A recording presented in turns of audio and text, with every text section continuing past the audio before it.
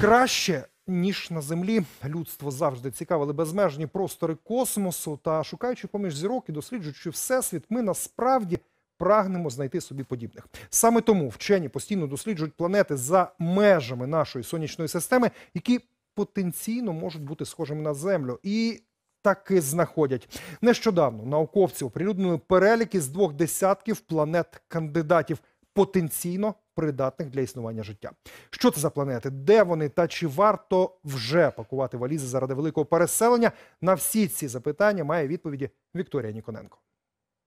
Їх чотири тисячі планет, яких людство вже знайшло за межами сонячної системи. Саме серед них шукають кандидатів на звання другої землі. Так як в телескоп от показують там з Хабла нашої сонячної системи планети, в такому вигляді їх неможливо побачити, тому що це дуже дуже далеко. Там, де що можуть дотягнутися телескопи, планети і зірки фіксують іншими методами. Учені навчилися розрізняти небесні тіла фактично за мерехтінням світла від зірок. Планета сюди, зоря в інший бік.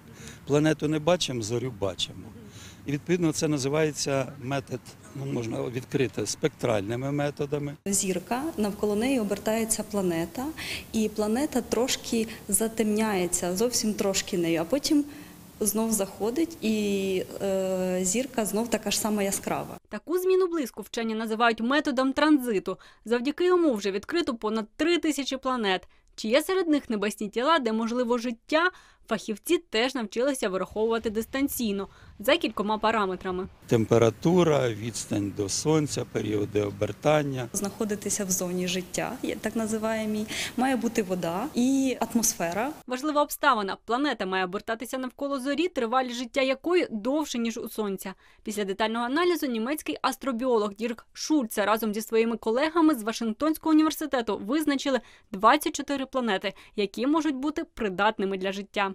П'ять із них розташовані в межах 10 градусів Цельсія від середньої температури Землі. Лише дві з них підтверджені як планети. Інші об'єкти ще ні, тож деякі з них можуть виявитися і помилкою. Та один особливо інтригує, оскільки попередня оцінка вказує на те, що він практично є дзеркальним відображенням нашої системи Сонце-Земля.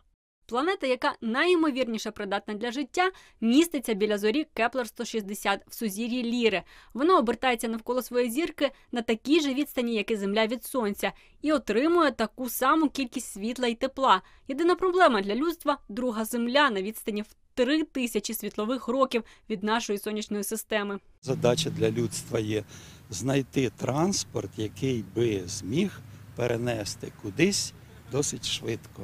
Поки інженери працюватимуть над прискоренням космічних подорожей, астрономи шукатимуть у космосі нові адреси для людства. Адже у всесвіті щогодини утворюється близько мільйона планетних систем. Вікторія Ніконенко, Антон Філіп, спецкор. 2+,2.